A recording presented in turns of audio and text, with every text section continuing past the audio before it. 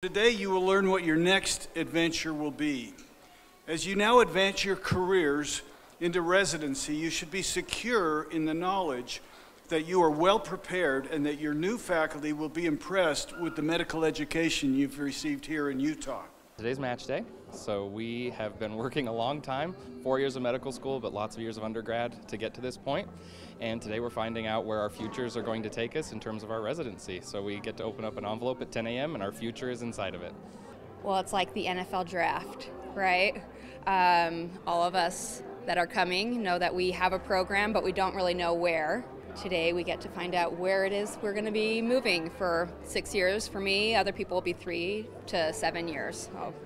It's a little bit of a strange way to find out where you're going for your first job, uh, but it's exciting nonetheless. I think I'm just just excited to see what happens. Top three, University of Utah. Would love to stay here at home. Um, next, looking at uh, University of Washington in Seattle, and then University of Irv- uh, UC Irvine in California. First choice is uh, UC Irvine, um, and then I have Boston University, and then Montefiore in New York. I would just like to stay close to Utah, if not in Utah. So I ranked programs in California and Chicago, like in my top five, along with Utah. This, I think, is the biggest day of med school, like more important than graduation or our white coat ceremony. It just shows all the hard work we've done in the last four years is paying off by getting a match to a residency spot, furthering our training, and it's just really exciting to see where I'll end up and where all my friends are going to go. They're all really good programs. This is an amazing thing, and I'm finally going to be a doctor, matching into my field of like my dreams, and I'm really excited about it. I mean, there's many steps along our way in education, and especially in medical education, where we get to a door that's closed and we have to wait for it to open. And this is one of those days. And it's a big door, and it's opening wide for all of us, and we're so excited to see what's on the other side. Three, two, one. You've matched into 124 programs in 24 different specialties. I'm for now. 48 of you will be entering primary care residencies in internal medicine, obstetrics, pediatrics, and family medicine.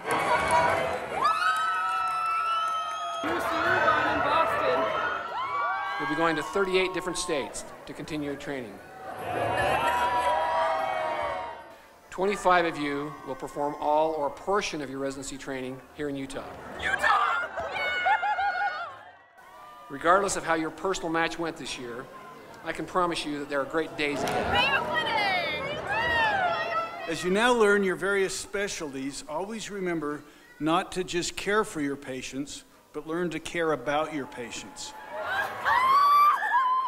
Caring about your patient means having empathy, understanding, and careful communication rather than just making a diagnosis and providing a treatment. A very important part of patient care is learning to truly care about the patient. As you move on with your match today, I wish you the very best in your careers. So thank you, and may you have a great future.